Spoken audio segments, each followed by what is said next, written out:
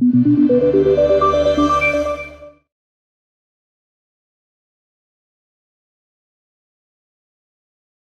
this video, I will demonstrate how to create a class that uses a technique known as lazy initialization that will enable us to defer the execution of a set of CPU-intensive tasks.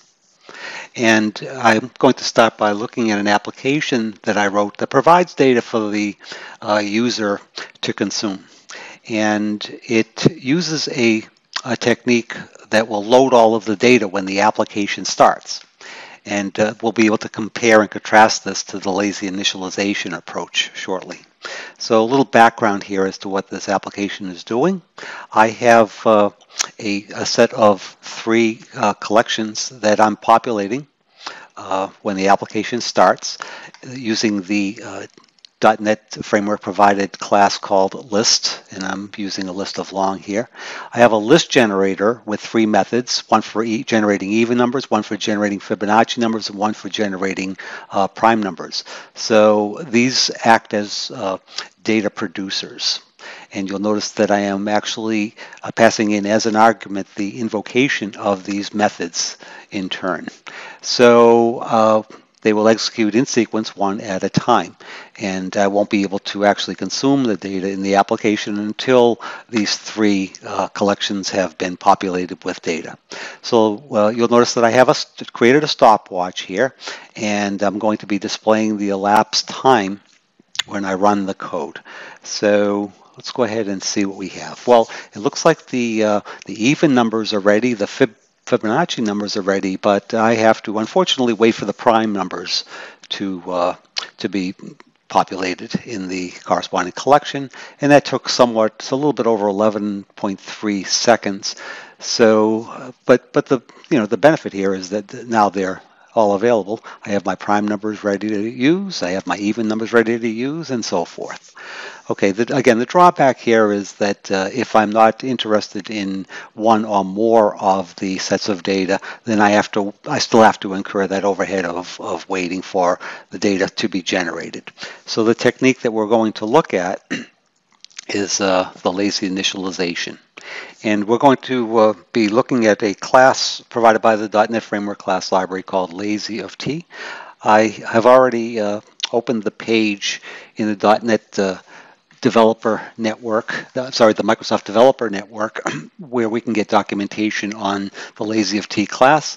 This was uh, implemented uh, back in .NET uh, Framework version 4, which means that uh, you'll need to have at least that version to be able to use this uh, class. And uh, I'm going to scroll down a little bit here to the remarks section. It's interesting to note it says use lazy initialization to defer the creation of a large or resource intensive object. Well, that's not our case. Or the execution of a resource intensive task. Well, that's where we are. We have a CPU intensive task. And this is also interesting, particularly when such creation or execution might not occur during the lifetime of the program. Okay, so as I said, we don't, we don't uh, want to have to incur overhead when not necessary. Our objective here is to uh, defer execution until an explicit request is made uh, by the consumer. Okay, so uh, now let's take a look at uh, a little bit of the uh, detail information of the backing detail for with respect to this class. So there's a properties uh, set that consists of two properties. The one I'm interested in here is the value. It says uh, gets the lazily initialized value of the current instance. Okay, and if that it doesn't say it here, but if that uh, if the instance isn't available, it will be uh, made available. Uh, and uh, if it already is available, it will be just passed along to the uh, requester. And we're now going to look at the constructors. The one of interest here is the third, uh, lazy of t that takes in an argument, func of t. So in this case here, when the lazy initialization occurs, the specified initialization function is used. This uh, initialization function will represent our strategy. In other words, it will be, uh, in our case, the, the methods of, of generating the prime number, the even number, or the Fibonacci numbers. Okay, so the uh, the goal is when when we create an instance of a uh, using the lazy of t constructor with the uh, the, the specified initialization function, that the delegate that we pass in is going to uh, uh, produce the, the lazily uh, initiated value uh, when needed. So that, that's our objective. So let's uh, get, jump back into the code. I have uh, already implemented a lazy list for us that uh, inherits from ilist of t. I have a backing field here that represents our subject, and I have a constructor that's going to take in a delegate of uh, the required type. I also have a note here. It says, very importantly, create an instance passing in the delegate that is invoked to produce the lazily initialized value when it is needed. And you'll notice here that when I create my instance, I pass in as an argument a lambda expression. And that lambda expression will be evaluated to the execution of the corresponding strategy passed in by the caller. So it will know how to uh, populate the list on request. And uh, now for the, the, the, rest of this uh, uh, implementation, I have uh, the methods index of insert all the way through the, uh, the, the get enumerator. So all of these have to be implemented, and you say, "Oh, that's a lot of work." Well, it's actually not uh, not too much of a problem. So when when, when you create your backing field here, we, we specify that as our subject, and that subject is of type lazy of ilist of t. Okay, so inside of each one of these methods, we use our subject's value. And again, the value is going to provide us the, the instance if it is available, and if it's not available, it will make it available.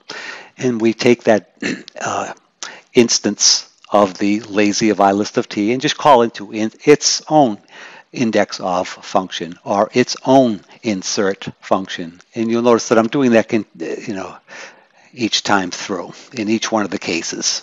So it's just a matter of, uh, uh, you know, en enhancing this just a little bit so that it meets our needs. So it's not uh, not a lot of work at all.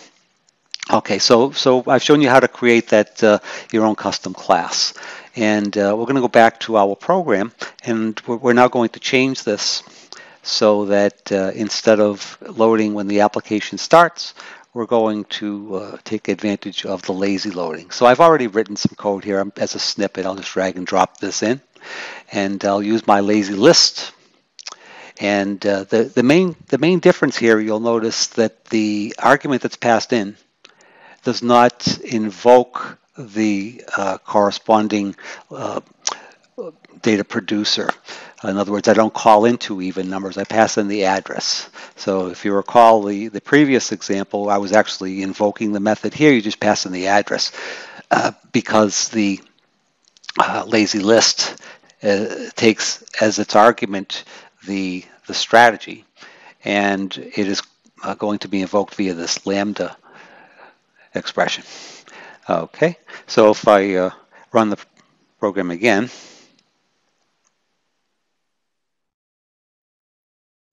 we noticed that uh, it took uh, 0.0015 seconds approximately, much, much faster.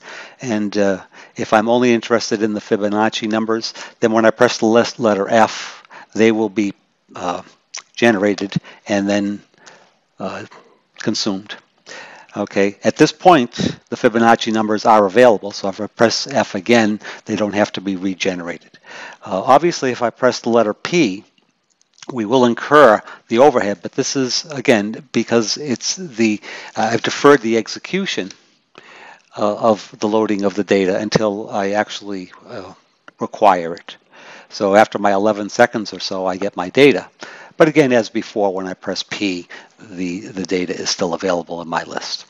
So that's uh, quite interesting. We, so what we've covered here uh, is how to take advantage of uh, lazy loading. We've looked at a proxy mechanism or a proxy pattern. So the lazy list here represents a proxy or a stand-in class for our list, and uh, we've also uh, discussed the, the strategy pattern. So uh, anyway, that's, uh, that's the end of the demonstration, and I hope you enjoyed. Thank you.